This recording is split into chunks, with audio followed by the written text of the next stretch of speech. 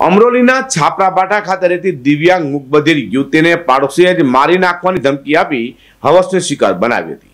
જોકે મુકબધિર યુવતીને ગર્ભ રહી જતા સમગ્ર મામલો સામે આવતા પોલીસે નરાધામ પાડોશી સામે ગુનો નોંધી ધરપકડ કરી છે. અમરોલી પોલીસ પાસેથી મળતી માહિતી મુજબ યુપીના શ્રમજીવી પરિવાર છાપરાબાટા રોડ પર રહે છે અને શ્રમિક વતન રહેતા ભાઈની અઢાર વર્ષીય મુકબધિર પુત્રીને સુરત સાથે રહેવા લાવ્યા હતા. યુવતી બોલી કે સાંભળી શકતી ન હોય જેથી પરિવારજનોની સાથે જ રહેતી હતી. દરમિયાન ઘર પાસે જ રહેતા પ્રદીપ ધર્મરાજ પટેલે મુકબધિર યુવતીનો ગેરલાભ ઉઠાવી ઘરમાં એકલી હતી. તે સમયે તેની સાથે બળજબરીપૂર્વક શરીર સંબંધ બાંધ્યો હતો. અને વાત કોઈને કહેશે તો જાનથી મારી નાખવાની ધમકી આપી હતી. પ્રદીપ પટેલના વર્તનથી યુવતી ગભરાઈ ગઈ હતી અને તેમને આ બાબતે કોઈને કંઈ કહ્યું નહોતું. જોકે ત્રણ મહિના બાદ મુકબધિર યુવતીને પેટમાં દુખાવો થતા તેમના કાકા અને કાકી હોસ્પિટલ લઈ ગયા હતા.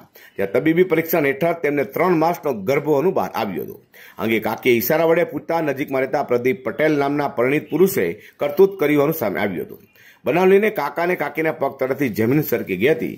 પોતાના હમવતની એવા પ્રદીપ ધર્મરાજ પટેલના કૃત્ય અંગે અમરોલી પોલીસ મથકમાં ફરિયાદ નોંધાવતા જ પોલીસે પણ તાત્કાલિક ગુનો નોંધી નરાધમ એક બાળકના પિતા પ્રદીપ ધર્મરાજ પટેલની ધરપકડ કરી તેની વિરુદ્ધ કાયદેસરની કાર્યવાહી ધરી છે.